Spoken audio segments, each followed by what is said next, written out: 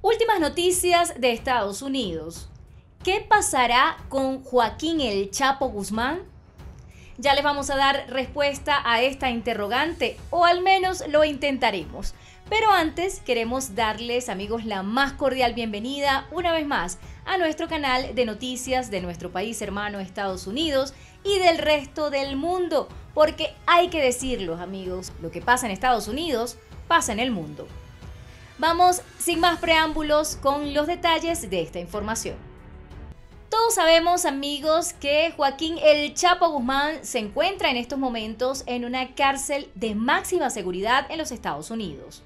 El Chapo ha indicado que espera que sus abogados aleguen la anulación de su sentencia a cadena perpetua bajo el argumento de una mala praxis, es decir, que la justicia de los Estados Unidos no actuó conforme a lo establecido en el ordenamiento legal vigente.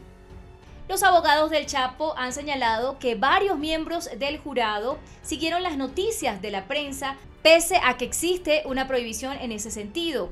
Esto lo expresó el juez Brian Cogan, encargado del caso.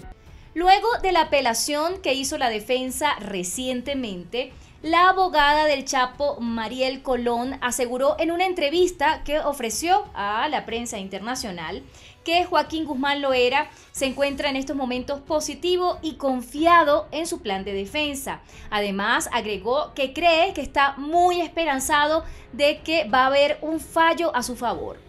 Recordemos amigos que este equipo de profesionales legales que se encargaron de la defensa del Chapo han solicitado ante mm, las autoridades, ante los tribunales de Estados Unidos, que se anule el juicio en el que su cliente fue encontrado culpable de la asociación delictiva de tráfico de sustancias estupefacientes.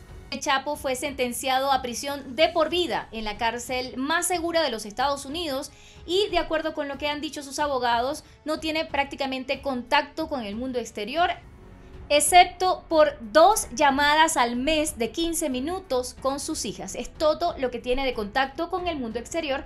Tampoco tiene este, puede establecer contacto con su esposa, quien también se encuentra privada de libertad.